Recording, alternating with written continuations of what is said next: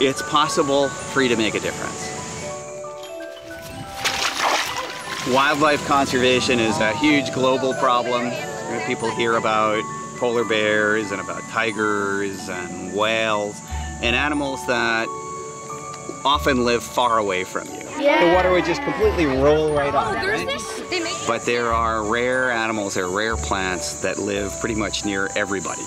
There are species in nature that can use help from local human neighbors everywhere. And by finding out about what's around you and about often really simple ways to help and really be part of making the natural world around them a little bit richer and a little bit better over the long term.